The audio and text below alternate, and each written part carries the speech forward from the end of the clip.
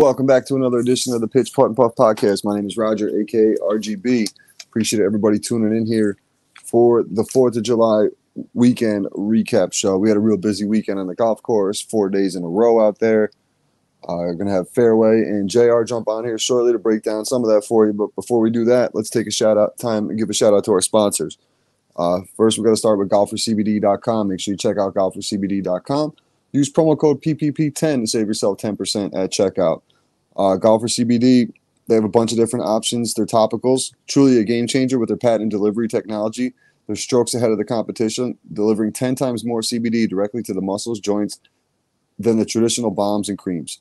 The Golfer CBD topicals are easy to apply on the course, absorb quickly, and don't leave any sticky residue, making them a perfect addition to every golfer's essential toolkit. So make sure you guys check out golfercbd.com. Use promo code PPP10 to save yourself 10% at checkout. Also, if you're local here in the 518, make sure you check out 420 Bliss, located at 740 Hoosick Road, right in the Walmart Plaza. Stop in there, check them out. Everything you're looking for flowers, vapes, edibles, pre rolls, tinctures, you name it, they got it. Let Ty and the crew know the Pitch Putt and Puff crew sent you. And then last but not least, we got Trouble Off the Tee, troubleofftheT.com, promo code RGB for 15% off site wide, as well as promo code PUFF for buy one, get one free on the polos. Make sure you take advantage of that. And don't forget to check out the book, uh, audio version available on Spotify as well as Audible, written by Marty Minden, narrated by Jake Adams from Country Club Adjacent. Uh, it's really a great listen. Take about a day or two to get through it, about four hours total. Uh, definitely check check it out. Um, and use promo code RGB on the website for 15%. And buy one, get one free for the polos. Puff is the promo code for that. Uh, take a quick break and we'll get into it with the boys. Welcome back to another edition of the Pitch Putt and Puff podcast. My name is Roger, aka RGB. Uh, big night here on the podcast. We got the Fourth of July weekend recap show. We got Jr. joining us. What up, Jay? Yo, what up? And then the one and the only Fairway Mike. Hey, man. Hey, man, what's up? I got up, it. man? That's all I needed, Jay. I got the hey, man. I can clip it. No doubt. Fairway, man. Let's talk a little. Let's get right into today, Fairway. Let's talk about today. Uh, season best score of an 82. What was going on out there today for you? Oh man, I was I was just I was burning it up, man. I was playing so good. I see you had a couple birdies. You took the skin, so you got you were the only skin out there because all the other ones canceled out. Uh, the birdie on 17 got him a greenie and a skin, so I took home the cash for the skin. Uh, a 42 on the front is a real good score, especially with it followed up with a 40 on the back fairway. That's an impressive round, man. Impressive round. on the back in a row. How do you do that crap? Man, I fairway, didn't impress myself. you came to play today, bud. You came to play. Well, you know what? I played yesterday. When we played yesterday, I played tee to green. I played great. I just could not putt. I had like maybe 12 or 13 bogeys. And every one I was either putting for a birdie or I was putting for a par. I missed every one of them, man. Uh, that's a tough course, especially because the, the speed of the green is so much different than what we're used to at Frear. Um, Jay, what you think about Schenectady Muni? It was good. I mean, the fairways aren't wide really that much there. Some holes they are, some of them are not. But you know, it's not bad. If you miss though, like your kind of ball's gone there, Yeah, that place is tough. It's pretty narrow. Um, and like you don't know where the pins are doing at the greens or where you're supposed to land it. Really, like yeah, and it's sure You're just playing like a number and just like, all right, I'll just hit it wherever, and then hopefully it worked out, and then like it didn't work out. it was tough because like um, I played that course a few times in tournaments, but not enough to know remember it and know yeah, like the I, I remember. I don't know. I, that was my first time in like the two, three years, probably. same. Hank kind of knew the layout of the land a little bit, which helped, but for the most part, man, it was just try to get it to the center of the green and see what happens. Right, and then you go over too short, or I did good on the part threes though. I like the all the part threes there. They're nice. And you could draw. You can get on like a lot of the part fives and two if you're playing, depending on what tee box you're playing. Like I remember hitting like a six iron into one. I hit a five wood into one. I did have a puffer eagle and up a par too, bro. I hit the best five wood. I was like two eleven to the front. My ball went all the way to the back. I landed it like 200 probably, and it rolled like through the green almost to the back, like two like 215, 220, like five wood in that heat. Yeah, that was it was hot out both days. It was hot out there. Fairway, what was your favorite part of Schenectady, Muni? Uh, nah, I don't know. Probably par fours. Well, the par fours, I probably dropped it on them. Probably 80, 90 percent on two. Oh shit. Just couldn't putt them, man. That's it. Couldn't yeah, putt putting 'em. was a little tough. See, putting's Yeah. not, not my problem. I just can't get off the fucking tee. I'm snap hooking. I got fairway yelling at me, slow down your swing. I try slowing it down, and then I'm now I'm completely like just hooking in, popping up to the left. Like it's Yeah. treacherous out there. It's absolutely treacherous. Once I found it, once I found my drive on the back nine, then I just went low, like 41. Like that's all I have to do is get off the tee box like you. That's it. And I was shooting the low 40s. I, I Jack, call it out to you. Look at this all. All right, good tee shot, par, birdie. You know, I got a chance at scoring. If not, I'm playing. I'm playing the bogey. Right. And then you even miss that sometimes. You get a six, and Yep. Um, we should play different courses, though. I think. You know what I mean? Because like that, like that, the greens were so tough to putt on, man. If we, if we, I say to uh, Don, I go, you know what? If I put it that uh, at Fair Park, it would have went right across the whole green. right. You know what I mean? I Yeah. did like So- the putting, just like the breaks were like. I don't think it was as much as I thought sometimes, and then sometimes I would like speed. I left. Let's see. If you ask Paul, he even said it too. He's like, by the time we got to like almost done, there's like four or five putts that stopped like one ball roll before going in. For Yeah, me. Don, Don was doing that too. That's yeah, what he one was ball doing. roll, dude. I would have made four or five more putts. Um, Mark, Mark, um, put it real good there though. He adapted to the speed pretty good. Yeah, Bob did putt pretty well up there. He did pretty good up there. He what did he do? I got his scorecard somewhere right here. Yeah, I think me and him both tied just on Saturday with a 91. Um, he almost had an eagle on. He got a birdie. It was the ninth hole. He chipped it from about. I give him 130 yards, and he stuck it about maybe a foot from the hole.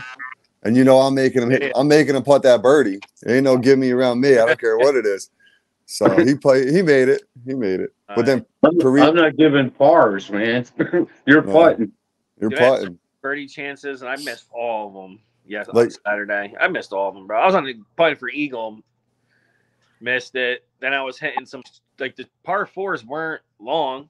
The par fours were like 350, 360, 340. So I was hitting wedges into them, and I was like leaving myself like 10 footers, 12 footers, and I just didn't make any birdies. Had an eagle putt, missed it. Had a birdie putt in the same hole, missed it. I missed two eagle putts. Who did you play with, Chad? I played with Whitey, Paul Sauls, and Jimmy Hart. Yeah, how did that turn out? Dude, that was a great group, bro. Like we Yeah. were, it was kind of like vibing along, just playing good golf. Like I think we all shot like 90 or under, except for like 91. I had. I think everybody else was like 91 or lower. Nice. Well, we got joining us straight out of Crumpin-Fox. We got Bad Brad. What's up, Brad? Thanks for jumping on, man.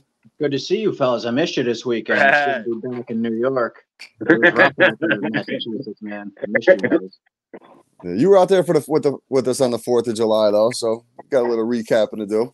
That's right. That's right. I had a decent day out there. Didn't make any money, but oh no, I Nope. did. Hit a skin. I hit a skin that day. Yeah, well, I hit a skin on. That's the only money I made this weekend. I hit a skin on eleven, or no, on fourteen. Um, Fourth of July. Yeah, that was I an awesome time. I shanked my tee shot in front of the um, tee box on 13. And then I hit my four hybrid about 200 plus, like 210 to about eight feet and made the birdie putt. That was the highlight of my weekend. That's it. That's all I did. All I played, I played 100 rounds of golf, and that's the only good shot I had. Fucking terrible, Well, hey, man, any round out there is a good round. no doubt. How was Crumpin-Fox? Right, Brad?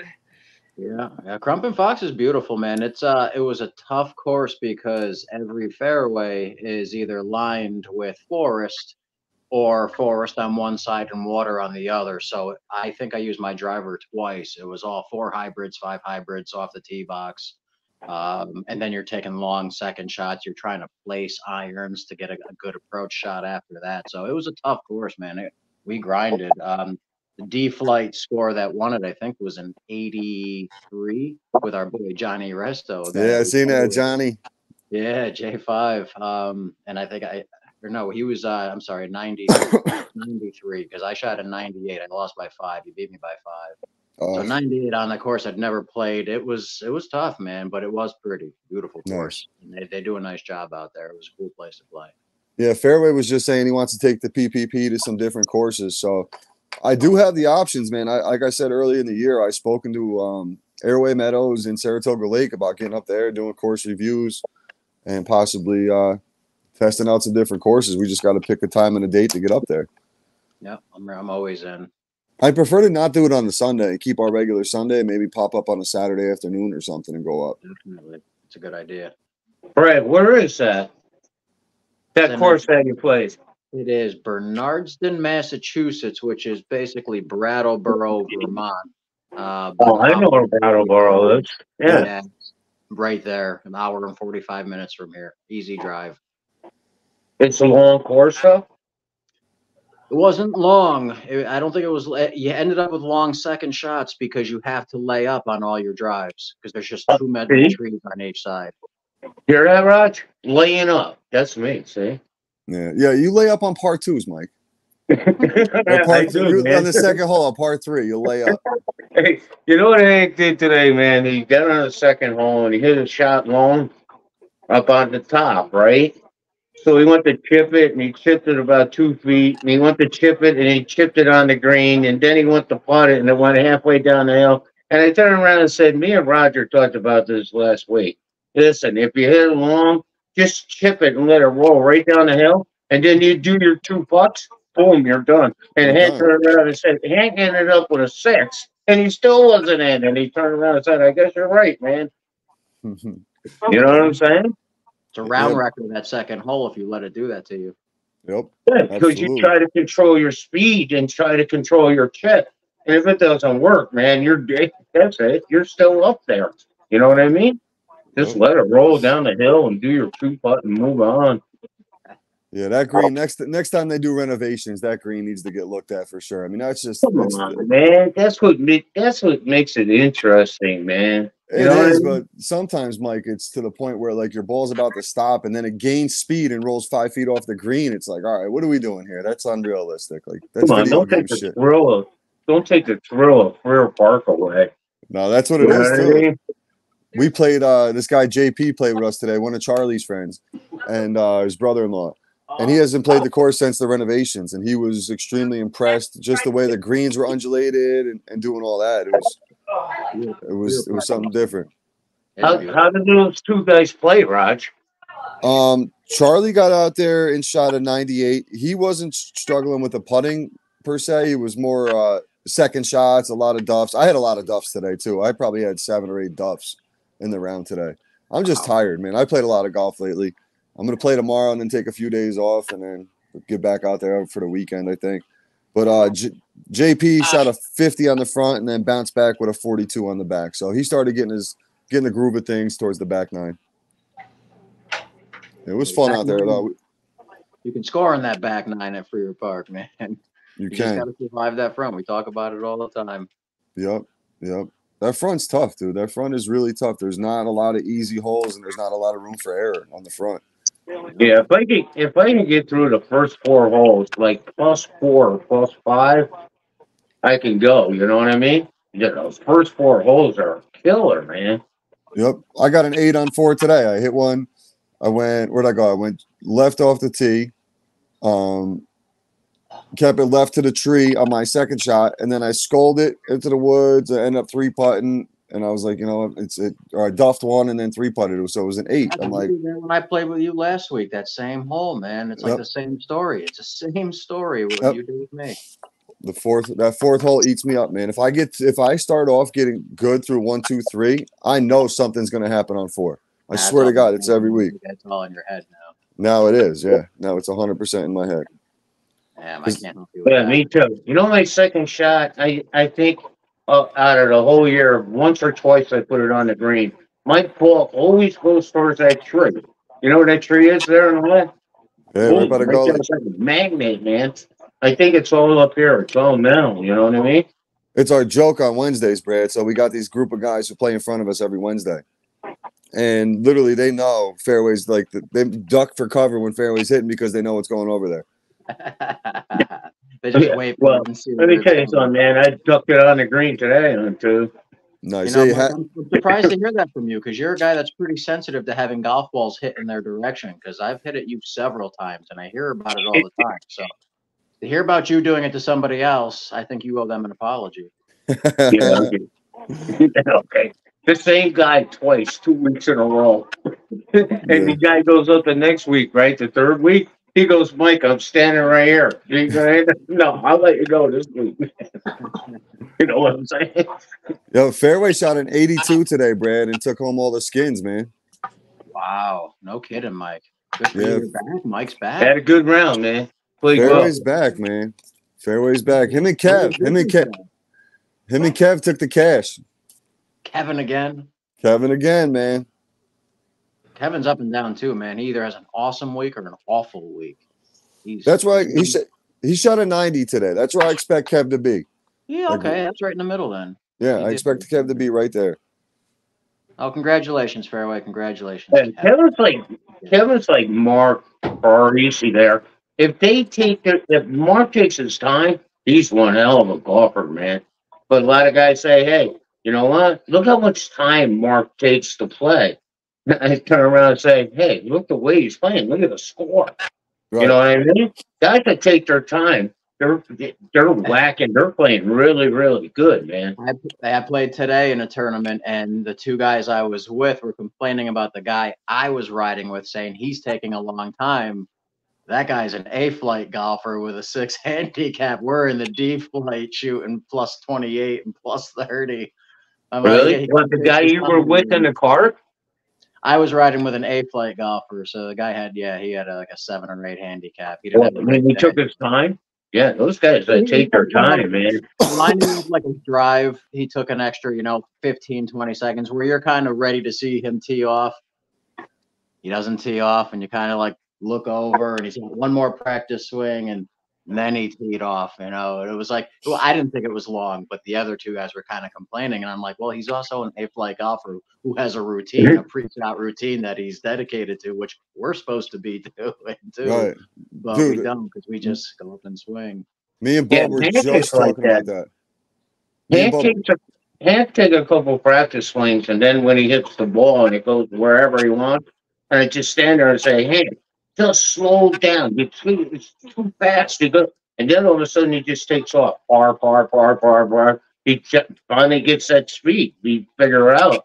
You tell him to slow down. He slows down a little bit, and boom, there he goes. You know. I think the only one of us really that has a routine. I don't really see. I see Jr. has it like with putting. I think I have it with putting too. But like off the tee, Steve's the only one with a routine, like a real routine. I feel like that we play with. Most of us just walk up and hit it. Me and Bob were just talking about this today, where like when you're shooting a free throw, you go and do the same thing every time, or even when you're bowling, you're gonna line up and aim at the same arrow every time, or whatever the hell you're doing. With golf, like we kind of just go up there and I mean it's not the same shot every time, but off the tee, pretty much it's the same shot every time. So you should be doing the same repetition, yeah. And none of I don't really see any of us doing it that much, to be honest Yeah, with I remember watching uh, when Annika Sorenstam played against the men several years ago. She played in the men's tournament, and her caddy was talking about on the very first tee box. He was so nervous, he was shaking and everything, and but he had a stopwatch, and he said that Annika's pre-shot routine to the second was right on point, where she teed off and hit it straight down the fairway, and her pre-shot routine didn't change. As nervous Yeah. as everybody was for her, and she must have been. She was right on routine and just did her thing and hit the ball right she put, she was on green and regulation every single hole that first day.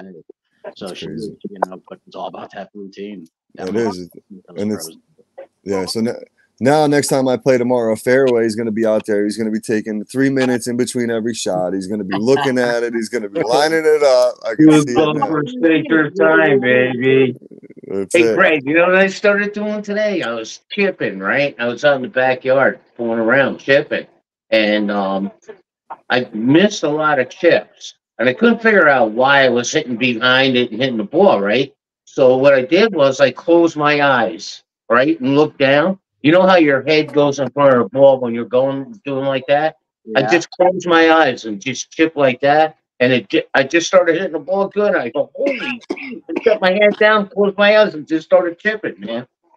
Well, you found something that works for you. Just say, you know, in the game of golf, it's easy come, easy go. So I, I hope that works for you for the rest of the season. But come next weekend, it's not going to work for you. It's nuts. Brad, are you I playing it next was pretty cool, man. Brad, are you I'm in up, next there, week? I'm up there with Kevin. Go, Kevin, check this out, man. Look, I got my eyes closed and I'm chipping up there in the back. And Kevin's going, holy gig like this, man. So now you're gonna play golf with your eyes closed? Fairway, now you're gonna play golf with your eyes closed? No, Oh. I just, I know where to hit the ball. It's just that I either hit behind it or I hit the ball itself. I never hit right that the iron, that wedge right in between the ground and the ball. You know what I'm saying? Yeah. That spot. And I practice hitting that, but my head is too far in front of the ball. I don't see it. You know what I mean? So I'm trying to keep my head straight right down to watch the ball where I'm hitting it. And so I just close my eyes and just hit the ball. Put my eyes and head down too when I'm hitting it. What do you I say? he closes his Yeah. He, he, everybody's afraid when JR swings the ball. We all close our eyes. yeah, it's been that way I for think- me too. I did all right on Saturday. Your After back I should- warmed up for nine holes, I went from fifty. I went from fifty to forty-one, Brad, in one hmm. nine. You're all over the place, man. You're all over the place. It's just off the tee with him. It's really the same as me. It's it is. just off the tee. It's freaking it's something out. crazy. I shot an Work even with par fairway six this year. Well, What's Fairway that? Mike will get you. fi- Fairway Mike will get you fixed. Work out with him a little bit. yeah, Yo. yeah, yeah, yeah, yeah. Definitely got to go with fairway. Fairway will Hey, fix it anybody hear from Steve?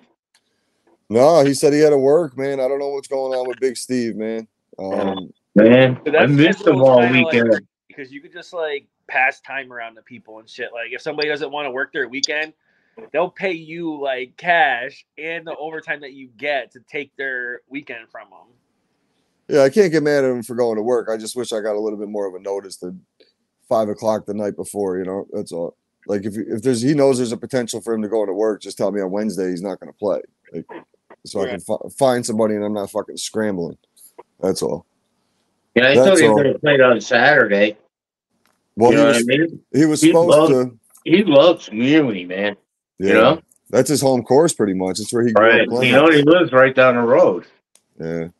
There was some miscommunication with, with some guys in our league to if they were coming or not, but Bro, that, um, that was crazy, bro. I can't believe that shit. yeah, it was tough. He literally like like told me on Friday night that he would be there. See, he when I left the golf course, hey Raj, see you in the morning. And then he texted a guy, completely different guy, and told him that he wasn't coming, and no one t- passed that message along to us. So we, we didn't know that That message to like the people in fucking charge of the thing. At 9:30 in the morning. You know, I was like, all right, guess. I, then I tried calling Steve on the tee box. Meanwhile, I'm like, yo, this is crazy right now. I was so I was just so aggravated with the whole situation. I'm like, this is fucking because we already paid Annoying. for 16 people too. So then we had to go back in, ask them for money back, and just it's like damn. Jay. I wouldn't even have done it. You should have let him just donated the money and f- let him figure it out from there because that's not on us. That's craziness. How many people did we have? We ended up with 15. 15. Yeah. How many people we got in the league? 22. 22. 23 now. Well, for the outing, it was only 22 in the league. So I mean, Yeah. if he was 16, it would have been like almost 80% of the league. So I mean, we're still going with 15. It's only 22 people, seven people. I can't make it. I don't care. Right. But but now the Binghamton outing is the same weekend as the county Rensselaer County tournament. So No. yeah, Are Yeah. you kidding me? the September 5th and 6th. They had aerated greens and stuff were going to be there. They said when the one we wanted to go. But Jay, how are they not going to be air aerated the week after though? Well, I'm hoping that they start before that, and it's like two, three weeks before we're there. This trip's a mess. Binghamton's a mess this year. Yo, the guy had a job, bro. We're gonna drive three hours and play on bumpy greens. I'm gonna lose my mind. Right. I'll drive home that night. Hop in the car. Let's go. No, uh, two weeks of uh, aeration will be they'll be fine. Those holes will be closed up. Hope so. You'll be all right. I hope so. Brad, you Brad, I don't know if you brought this up or not, but you know, talking about being on time and stuff, you forgot to pick somebody up for golf on Yo, July, Dude, there's and another thing I want to talk about. I got to write down. Yeah. So, all right. So the Fourth of July. Let's talk about this. I did not talk about this. Um, I went into work at 11:45 p.m. to go play golf at 7:30 in the morning. Like I got to work literally. I woke up 11:45. Got to work at like 12:15, 12:30, and I'm zoom. I'm literally killing myself all day to get everything done. I just we just had to get the day done. We didn't have to work eight hours. We had to get the day done, and we could go. And Fourth of July for me in the beer industry is a really busy day. So I was literally killing myself, rushing to get to the golf course. I get there and I'm like, all right, who's with? Like I, I forget who it was. Brad, who were you in the car with? Was it Bob? On the fourth? Would you, no, you were Farina. You were Farina on the fourth. So whoever Bob played with, I'm like thinking about who's paired with who. And I'm like, yo, who the fuck am I paired with? And it was like literally a home alone scene. I go, Kevin! Like I forgot Kev, man. I forgot Kev. It was literally fucking home alone. I forgot Kev. So luckily he only lives five minutes away. I hop in my car and I'm like literally I didn't even have time to stop at the gas station. I had like no gas. I'm like, I might not make it. So I I pull up to Kev's. I see Jay, um, because Jay lives downstairs from Kev or upstairs from Kev, whatever. He's like, yo, what are you doing? I'm like, yo, I forgot Kev. He's like, what? Kev was hammered, half asleep. He was I had to wake him up like before I left the golf course type shit.